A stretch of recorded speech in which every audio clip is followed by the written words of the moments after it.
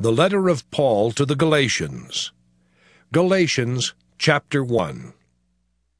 Paul, an apostle, sent neither by human commission nor from human authorities, but through Jesus Christ and God the Father, who raised him from the dead, and all the members of God's family who are with me, to the churches of Galatia.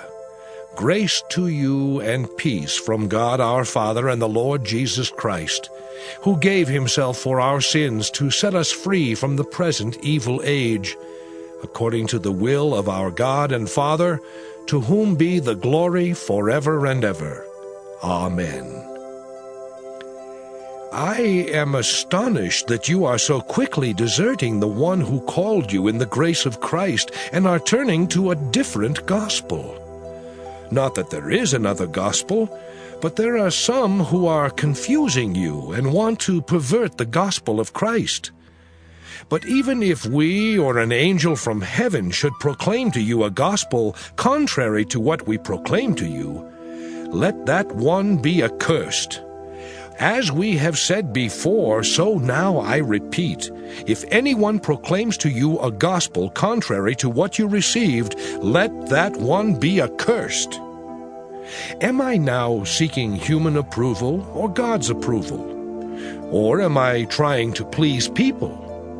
If I were still pleasing people, I would not be a servant of Christ. For I want you to know, brothers and sisters, that the gospel that was proclaimed by me is not of human origin. For I did not receive it from a human source, nor was I taught it, but I received it through a revelation of Jesus Christ. You have heard, no doubt, of my earlier life in Judaism. I was violently persecuting the Church of God and was trying to destroy it. I advanced in Judaism beyond many among my people of the same age, for I was far more zealous for the traditions of my ancestors. But when God, who had set me apart before I was born, and called me through his grace, was pleased to reveal his Son to me, so that I might proclaim him among the Gentiles, I did not confer with any human being. Nor did I go up to Jerusalem to those who were already apostles before me. But I went away at once into Arabia, and afterwards I returned to Damascus. Then, after three years, I did go up to Jerusalem to visit Cephas, and stayed with him fifteen days. But I did not see any other apostle except James, the Lord's brother. In what I am writing to you before God, I do not lie. Then I went into the regions of Syria and Cilicia, and I was still unknown by sight to the churches of Judea that are in Christ. They only heard it said, The one who formerly was persecuting us is now proclaiming the faith he once tried to destroy and they glorified God because of me. Galatians chapter 2 Then, after fourteen years, I went up again to Jerusalem with Barnabas, taking Titus along with me. I went up in response to a revelation. Then I laid before them, though only in a private meeting with the acknowledged leaders, the gospel that I proclaim among the Gentiles, in order to make sure that I was not running or had not run in vain. But even Titus, who was with me, was not compelled to be circumcised, though he was a Greek. But because of false believers secretly brought in, who slipped in to spy on the freedom we have in Christ Jesus so that they might enslave us, we did not submit to them even for a moment so that the truth of the gospel might always remain with you. And from those who were supposed to be acknowledged leaders, what they actually were makes no difference to me. God shows no partiality. Those leaders contributed nothing to me. On the contrary, when they saw that I had been entrusted with the gospel for the uncircumcised, just as Peter had been entrusted with the gospel for the circumcised, for he who worked through Peter, making him an apostle to the circumcised, also worked through me in sending me to the Gentiles. And when James and Cephas and John, who were acknowledged pillars, recognized the grace that had been given to me, they gave to Barnabas and me the right hand of fellowship, agreeing that we should go to the Gentiles and they to the circumcised.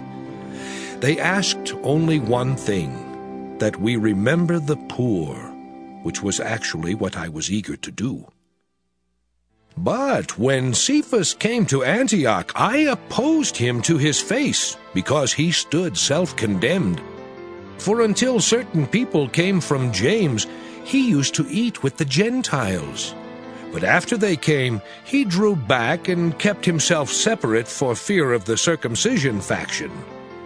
And the other Jews joined him in this hypocrisy, so that even Barnabas was led astray by their hypocrisy.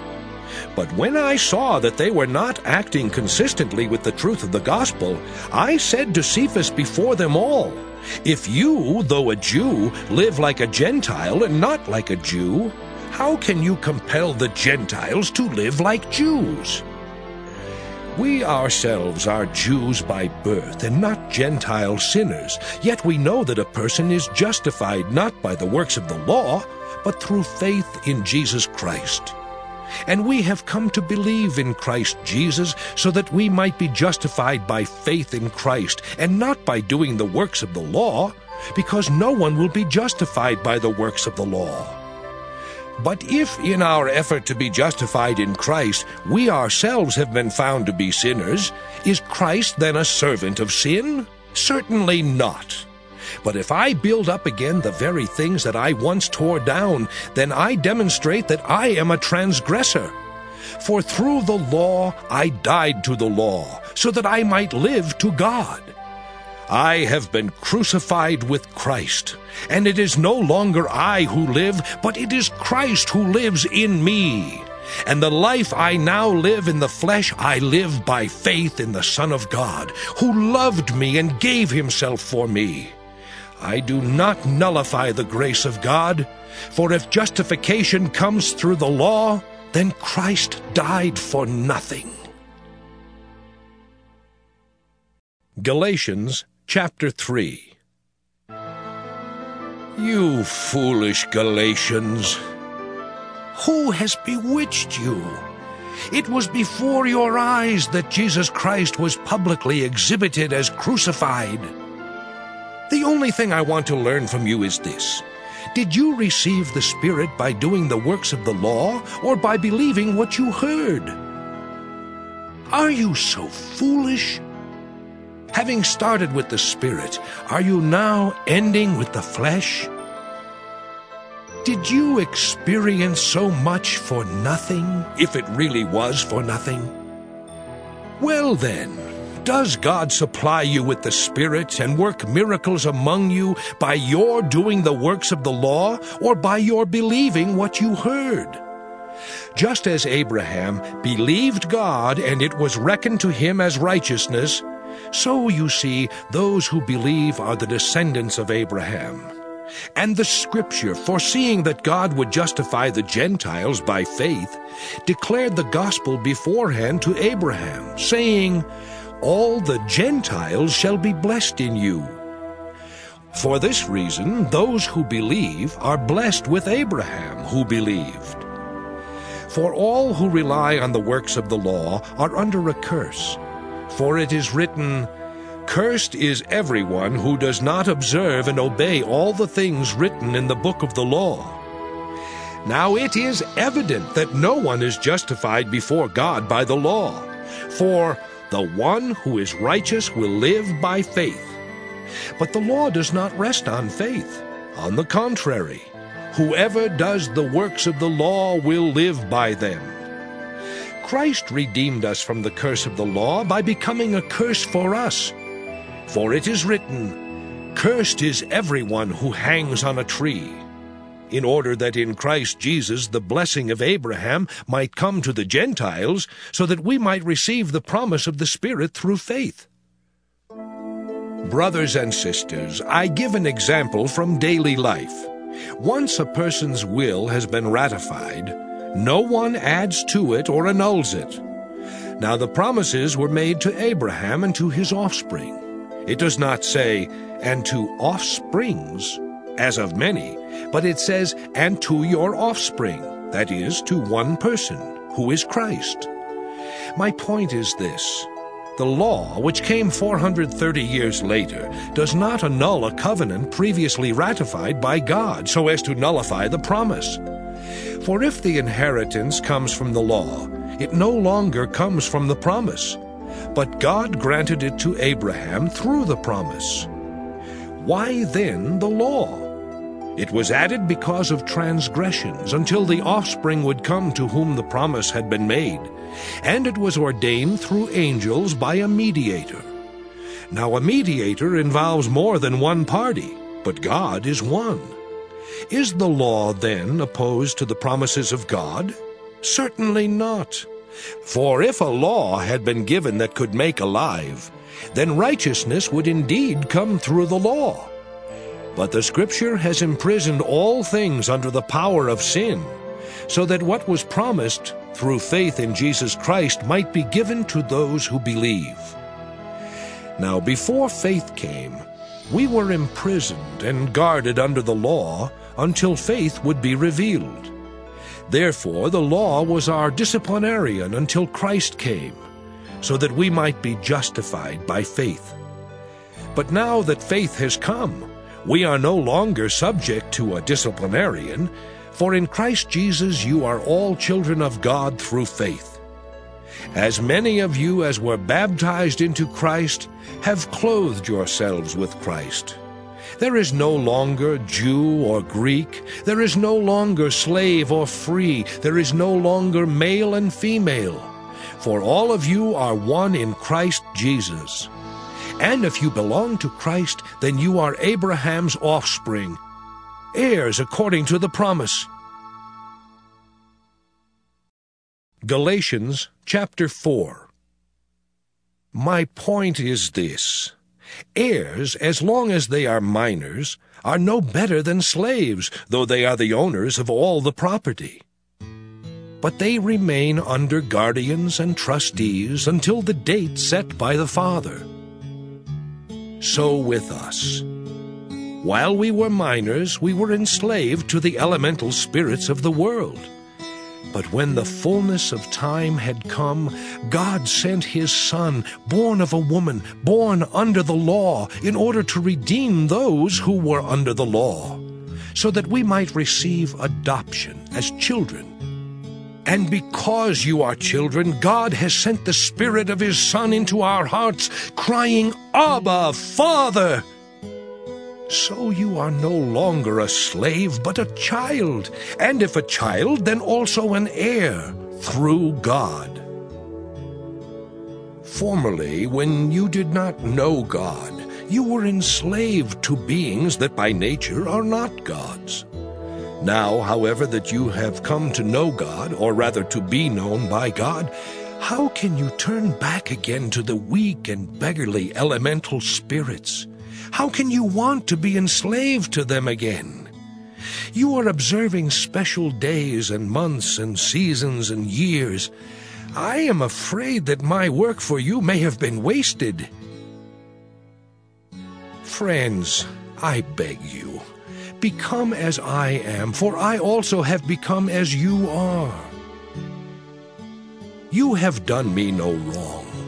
You know that it was because of a physical infirmity that I first announced the gospel to you.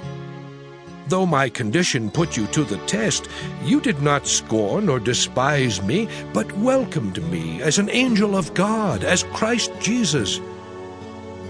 What has become of the goodwill you felt? For I testify that had it been possible, you would have torn out your eyes and given them to me. Have I now become your enemy by telling you the truth? They make much of you, but for no good purpose. They want to exclude you, so that you may make much of them. It is good to be made much of for a good purpose at all times, and not only when I am present with you. My little children, for whom I am again in the pain of childbirth until Christ is formed in you, I wish I were present with you now and could change my tone, for I am perplexed about you. Tell me, you who desire to be subject to the law, will you not listen to the law? For it is written that Abraham had two sons, one by a slave woman and the other by a free woman. One, the child of the slave, was born according to the flesh. The other, the child of the free woman, was born through the promise. Now this is an allegory. These women are two covenants. One woman, in fact, is Hagar from Mount Sinai bearing children for slavery. Now Hagar is Mount Sinai in Arabia and corresponds to the present Jerusalem, for she is in slavery with her children. But the other woman corresponds to the Jerusalem above. She is free, and she is our mother. For it is written, Rejoice, you childless one, you who bear no children. Burst into song and shout, you who endure no birth pangs. For the children of the desolate woman are more numerous than the children of the one who is married. Now you, my friends, are children of the promise, like Isaac. But just as at that time the child who was born according to the flesh persecuted the child who was born according to the Spirit, so it is now also. But what does the Scripture say? Drive out the slave and her child, for the child of the slave will not share the inheritance with the child of the free woman. So then, friends, we are children not of the slave, but of the free woman. Galatians chapter 5 For freedom Christ has set us free. Stand firm, therefore, and do not submit again to a yoke of slavery. Listen. I, Paul, am telling you that if you let yourselves be circumcised, Christ will be of no benefit to you. Once again I testify to every man who lets himself be circumcised that he is obliged to obey the entire law. You who want to be justified by the law have cut yourselves off from Christ. You have fallen away from grace. For through the Spirit, by faith, we eagerly wait for the hope of righteousness.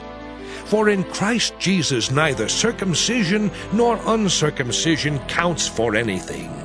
The only thing that counts is faith working through love. You were running well. Who prevented you from obeying the truth? Such persuasion does not come from the one who calls you. A little yeast leavens the whole batch of dough. I am confident about you in the Lord that you will not think otherwise. But whoever it is that is confusing you will pay the penalty. But, my friends, why am I still being persecuted if I am still preaching circumcision? In that case, the offense of the cross has been removed. I wish those who unsettle you would castrate themselves. For you were called to freedom, brothers and sisters. Only do not use your freedom as an opportunity for self-indulgence, but through love become slaves to one another. For the whole law is summed up in a single commandment. You shall love your neighbor as yourself. If, however, you bite and devour one another, take care that you are not consumed by one another.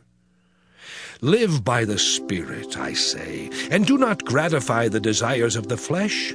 For what the flesh desires is opposed to the Spirit, and what the Spirit desires is opposed to the flesh. For these are opposed to each other to prevent you from doing what you want. But if you are led by the Spirit, you are not subject to the law. Now the works of the flesh are obvious fornication, impurity, licentiousness, idolatry, sorcery, enmities, strife, jealousy, anger, quarrels, dissensions, factions, envy, drunkenness, carousing, and things like these. I am warning you, as I warned you before, those who do such things will not inherit the kingdom of God.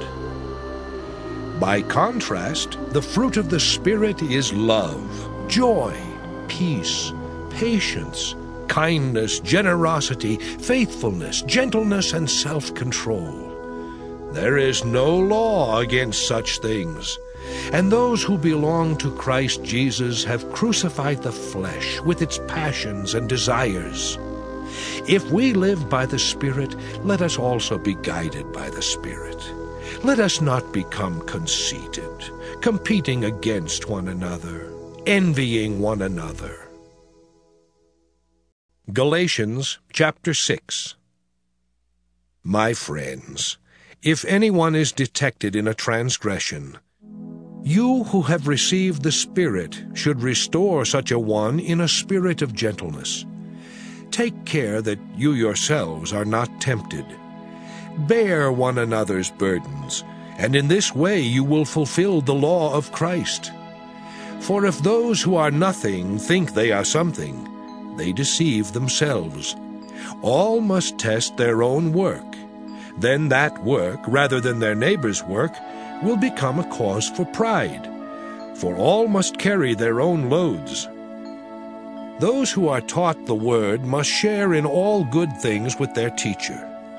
Do not be deceived. God is not mocked, for you reap whatever you sow. If you sow to your own flesh, you will reap corruption from the flesh. But if you sow to the Spirit, you will reap eternal life from the Spirit. So let us not grow weary in doing what is right, for we will reap at harvest time if we do not give up. So then, whenever we have an opportunity, let us work for the good of all, and especially for those of the family of faith. See what large letters I make when I am writing in my own hand.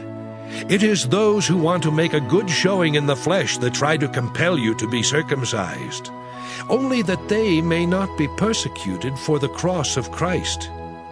Even the circumcised do not themselves obey the law, but they want you to be circumcised so that they may boast about your flesh. May I never boast of anything except the cross of our Lord Jesus Christ, by which the world has been crucified to me and I to the world. For neither circumcision nor uncircumcision is anything, but a new creation is everything.